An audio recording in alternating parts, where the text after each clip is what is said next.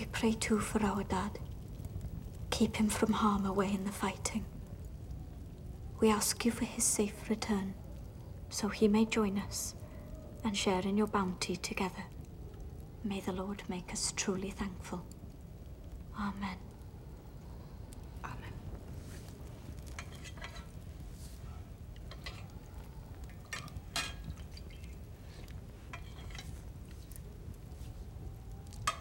This is burnt. Sorry. You were late home. I had to see to the animals myself. And now you've ruined our supper. I, I didn't mean to.